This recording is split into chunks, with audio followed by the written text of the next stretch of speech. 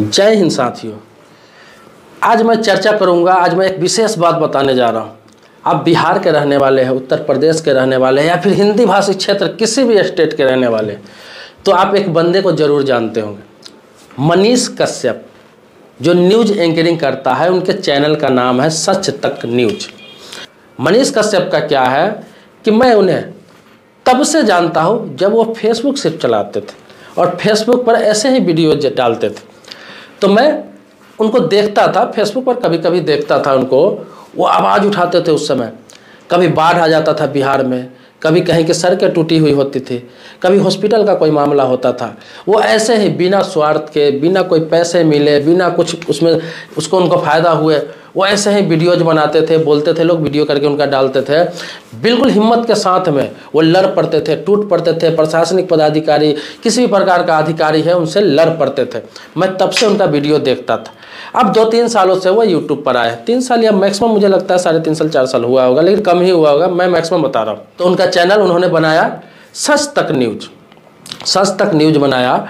और जब उन्होंने चैनल बनाया था, मैं आपको बता दूँ, जब उन्होंने चैनल बनाया था उस समय उनका बहुत ही कम सब्सक्राइबर रहा होगा। मुझे लगता है स्टार्टिंग किए धीरे धीरे जब मैंने उनका देखा था चैनल तो वही दो लाख के आसपास सब्सक्राइबर रहा होगा।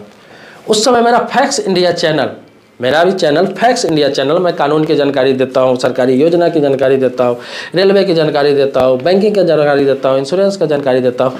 उस समय मेरा पाँच लाख से ऊपर सब्सक्राइबर था। आज के डेट में बता दूँ, उनका लगभग पाँच मिलियन से ऊपर सब्सक्राइबर और मेरा एक मिलियन से ऊपर सब्सक्राइबर है, वह साढ़े बारह से तेरह लाख के आसपास मेरा सब्सक्राइबर है और निरंतर मेरा भी बढ़ रहा है, उनका भी बढ़ रहा है। कहीं पे कोई पुल बन रहा है, सड़क बन रहा है, कहीं पे नाला बन रहा है, कुछ भी निर्माण हो रहा है, मैंने तो उनको देखा कि बिहार की क्या बात करूँ। उन्होंने महाराष्ट्र, तमिलनाडु, उत्तराखंड उत्तर प्रदेश, अभी तो गुजरात में है, दिल्ली। बहुत सारी जगहों पर जाके ऐसे लड़ पड़ते हैं, बंगाल में भी मैंने उनको देखा, ऐसे लड़ पड़ते हैं, कभी डरते ही नहीं कि वो बिहार से आए हैं, उनको कोई यहाँ जानने वाला नहीं है, कोई चाहने वाला नहीं है, वो लड़ पड़ते हैं, इसलिए लड़ पड़ते हैं, मुद्दों की बात पर लड़ पड़ते हैं, और वीडियोज़ डालते हैं, और करोड़ों में उनका फॉलोअर्स है, करोड़ों लोग उनको देखते हैं, और कभी भी डरते नहीं है, हिम्मत के साथ डट के पत्रकारिता करते हैं। मैं इस उन पर चर्चा इसलिए कर रहा हूँ कि अभी हाल ही में मैंने देखा है कि वीडियोज़ उनका नवादा में एक कवर करने गए थे न्यूज़ वो। किस पर? छः लोगों ने आत्महत्या कर लिया था वहाँ पे। छः व्यक्ति ने एक ही परिवार का आत्महत्या कर लिया था। मामला कुछ था कर्ज वर्ज का कुछ मामला था। उनका वो न्यूज़ कवर करने के लिए गए थे। वहाँ पर क्या हुआ, कुछ मामला हुआ, थोड़ा बहुत मामला होता है, उनका वीडियो कुछ कर रहे थे कुछ लोग वहाँ पे, उन्होंने मना किया उनको। मतलब अपने माइक से उनका मोबाइल पे थोड़ा ठोक दिया था कि भाई, मत करो मेरा वीडियो, थोड़ा कॉपीराइट का मामला होता है, या फिर थोड़ा अनकम्फर्टेबल हम हो जाते हैं, अभी बाद में वीडियो कर लेना, अभी मत करना। वहाँ के लोग तो टूट पड़ा। वहाँ के हालाँकि लोग नहीं थे लोकल लोग नहीं थे, मैंने देखा वीडियो को लोकल लोग नहीं थे, वो लोग भी बाहर से आए हुए थे। अब इनसे पर्सनली दुश्मनी रहा हो या फिर किसी प्रकार का दुश्मनी रहा हो, जलन रहा हो, इनके तरक्की से जलते रहे हो, इन पर टूट पड़ा, इनके साथ बदतमीजी करने लगा, इन पर चिल्लाने लगा। गाली गलौज भी हुई शायद, मुझे कंफर्म नहीं है, लेकिन गाली गलौज भी हुई शायद। मनीष कश्यप बचाव करते रहे, इन्होंने कुछ उनको नहीं कहा, न गाली दिया, न कुछ बोले, न उनसे लड़ाई करने की कोशिश की। इन्होंने सिर्फ़ अपना बचाव किया, अपने बातें रखी। उसके बाद तो बाढ़ आ गया। मतलब कि इन पर वीडियो का बाढ़ आ गया, इनका विपक्ष का जो बहुत सारे न्यूज़ चैनल छोटे छोटे न्यूज़ चैनल है, वो बाढ़ आ गया, इन पर कंट्रोवर्सी करने लगा। भाई, मनीष कश्यप आज मार खाया, मनीष कश्यप के साथ ये हुआ, मनीष कश्यप गलत रिपोर्टिंग करते हैं, इसलिए उनका विरोध किया गया, ये किया गया, वो किया गया। मैं आपको बता दूँ, भाई साहब, अगर आपको आगे बढ़ना है, अगर आपको तरक्की करना है सोशल मीडिया के क्षेत्र में यूट्यूब पे हो फेसबुक पेज पे हो, कहीं भी हो, अपने कंटेंट लेकर आइए। मनीष कश्यप की तरह अपनी बात रखिए। हिम्मत रखिए। वो जो बंदा कर लेता है, करता है, कर रहा है, मैं बता दूँ सही में, हम लोग जैसे लोगों के भी बस की बात नहीं मैं एडवोकेट हूँ पैसे से। मेरे एक मिलियन से ज़्यादा सब्सक्राइबर है। मैंने बताया, साढ़े बारह से तेरह लाख अभी सब्सक्राइबर है। और निरंतर डेली बढ़ता ही है। लोग आते हैं, जुड़ते रहते हैं। लेकिन मैं भी हिम्मत नहीं कर पाता हूँ उतना। कानून की जानकारी देता हूँ, सब चीज़ों की जानकारी देता हूँ फैक्स इंडिया चैनल पर लेकिन उतना हिम्मत नहीं कर पाता हूँ। जो मनीष कश्यप करता है ग्राउंड पर उतर के, लोगों के बीच उतर के गलत मुद्दों पे लोगों से लड़ लेना, सरकार का विरोध करना, प्रशासन का विरोध करना डायरेक्ट पुलिस प्रशासन से लड़ लेना डायरेक्ट हॉस्पिटल प्रशासन से लड़ लेना डायरेक्ट किसी इंजीनियर से लड़ लेना, किसी इंजीनियर के बारे में हाईवे पे अकेले खड़ा होकर अगर गलत कुछ देखते हैं तो वहाँ पे विरोध करते हैं। मेन स्ट्रीम मीडिया की भी औकात नहीं है, मैं बता रहा हूँ, न उनकी हिम्मत है। कभी मैंने ऐसा नहीं देखा। लोग बहुत सारे चैनल ऐसा भी है जो सरकार की चापलूसी करते हैं। बहुत सारे चैनल ऐसा भी सरकार का विरोध करते हैं। बहुत सारे चैनल ऐसा है जो बैलेंस बना कर रखते हैं। मनीष कश्यप न सरकार की चापलूसी करते हैं, ना ही सरकार का विरोध करते हैं और ना ही बैलेंस बना के रखते हैं। ये जो सच है, उसी पे बात करते हैं। इसीलिए उनका चैनल का नाम है सच तक न्यूज़ मैं फ़ैन हूँ यार, मैं सही बता रहा हूँ, मैं उनका बहुत बड़ा फ़ैन हूँ। आज पूरी बात मैं मनीष कश्यप पे इसलिए कर रहा हूँ, मैं वाकई फ़ैन हूँ मैंने आपको बताया कि मैं तब से उन्हें जानता हूँ। जब वो यूट्यूब पे नहीं थे, तब भी मेरा चैनल चलता था। आज मुझसे कहीं, कई गुना ज़्यादा वो आगे सब्सक्राइबर लिए हुए हैं और लोग चाह रहे हैं, निरंतर उनसे जुड़ रहे हैं। मैं खुद उनका सब्सक्राइबर हूँ। क्या बताऊँ, मैं खुद उनका सब्सक्राइबर हूँ, मैं उनको देखता रहता हूँ। अभी गुजरात में है। अभी वो गुजरात का चुनाव का कवर कर रहे हैं। और ये नहीं कि गुजरात में तो गुजरात में रहेंगे। मैं उनका वीडियो देखता हूँ, मैं दंग रह जाता हूँ यार। कभी गुजरात में है, अचानक कभी आपको दिख जाएँगे यूपी में। कभी अचानक झारखंड में दिख जाएँगे। अचानक बंगाल, अचानक महाराष्ट्र, अचानक तमिलनाडु। बंदा में एनर्जी कैसे यार? सीखने की चीज़ है। एनर्जी इतना एनर्जी लाता कहाँ से? किसी की बस की बात नहीं है भाई। होंगे बहुत सारे, कम लोग ऐसे होते हैं। एनर्जी कहाँ से लाता है? इतना फ्रेंक बोलना, हिम्मत रखना, लाखों लोगों के बीच बोल लेना, सैकड़ों लोगों के बीच बोल लेना, हज़ारों लोगों के बीच बोल लेना, और मुद्दों की बात बोल लेना एक होता है, बोलना तो अलग, कोई भी बोल लेता है। अगर किसी के पक्ष में आप बोल रहे तो करोड़ों लोगों के बीच बोल सकते हैं। पक्ष की बात बोल लेते लेकिन किसी का विपक्ष बोलना, जहाँ लाखों लोग हैं, हज़ारों लोग हैं, सैकड़ों लोग हैं, भीड़ है, और उसके विपक्ष में बोलना डरना नहीं, हिम्मत की बात है, सबकी बस की बात नहीं है। अगर गलत देखे तो चाहे वो सैकड़ों लोग हज़ारों लोग हैं, बंदा गलत ही बोलता है।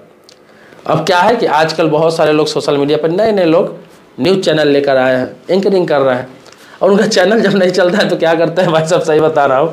मनीष कश्यप का विरोध करो। मनीष कश्यप का विरोध करोगे, चैनल चल जाएगा।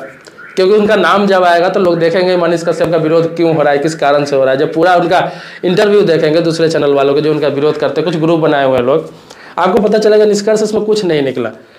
लास्ट में पता चल जाता है कि विरोध बंदा इसलिए कर रहा है कि बंदा ने बहुत जल्दी तरक्की कर लिया, बहुत आगे बढ़ गया, बहुत कुछ पा लिया, बहुत कुछ हासिल कर लिया, बहुत आगे निकल रहा है, हो सकता है आने वाला समय में। वो बंदा वहाँ दिखे, जहाँ हम लोगों ने सोचा भी नहीं। तो इसलिए विरोध कर रहे होंगे। मुझे तो खुशी होती है यार, सही बता रहे हो, खुशी होती है। ऐसे बंदे अगर, एक बंदा जो मनीष कश्यप है, ऐसे ऐसे, ज़्यादा नहीं।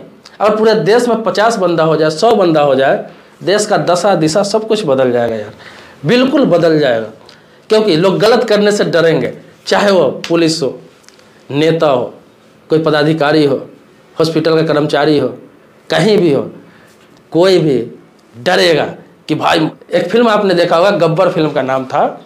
उसमें क्या था कि भाई, ये करोगे तो गब्बर आ जाएगा, ये करोगे तो गब्बर आ जाएगा डरता था गब्बर से। वो तो फ़िल्म की बातें हैं। आज के डेट में अगर वैसा पचास बंदा हो जाए तो देश में गलत करने से लोग डरेंगे, बोलेंगे, भाई, गलत मत करो, मनीष कश्यप आ जाएगा।